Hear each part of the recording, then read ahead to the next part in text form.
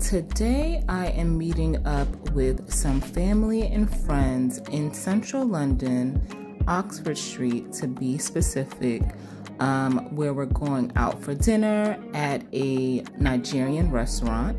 Here is just the iconic Oxford Street, one of the busiest um, shopping districts in all of Europe.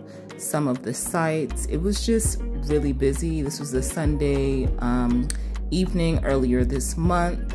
This is the PSG store with some of the kits, which I thought was pretty cool. Um, this is the Harry Potter House of Secrets, and I don't know what this is. I just thought it was so cool that whatever they're selling, I'll take two, okay? So um, here again, just some more sights of the iconic Oxford Street. Um, I thought this display window was also very nice. And that's little old me. Let me see you walk, walk, walk. Shawty walk. Okay, so we made it to the restaurant, Enish. So hopefully it's bomb. Let's go. So this is what the inside of the restaurant was looking like. It was decorated so beautifully. It looked like a rainforest. It was absolutely beautiful. It was warm, it was inviting. They had a full bar. It was definitely Instagrammable. Um, the way that they had the walls um, decorated, one of these iconic red British telephone booths. They had their logo on the walls. It was just really, really pretty.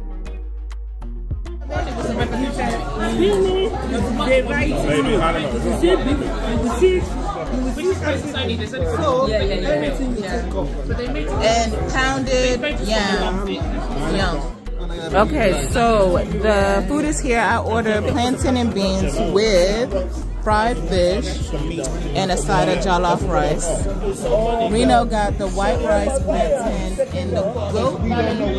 Yeah. Gemma, Gemma, what did you order? The suya? Soya, plantain. And plantain, yum. Ade also has the suya with jollof. And what did you get, Samantha? I got ayamase with jollof. Ayamase with jollof. We'll come back and let you know. I'm hungry, so hopefully it's good. Okay, so food was done. The jollof was uh, had like a smoky flavor to it, which honestly I wasn't a fan of. Like it tastes like the bottom of the pan rice, like the bun rice, is what it was given to me. Um, but I was told that that tasted. Gemma, how was your dinner? Yeah, it was fantastic. Thumbs up, Ade, for you. Samantha, how was your? You're gonna come here again? Thumbs up. Reno, how was your dinner? So everybody's saying thumbs up. So if you're in central London, check out Enish. Everything else was good. I just wasn't a fan of the rice. I'm gonna be honest. I probably should have got plain rice. But um, everything else was good. The fish wasn't too spicy. And from what I heard, the goat and the beef and the other meat that everybody had wasn't that spicy either. So yeah, definitely come check this place out.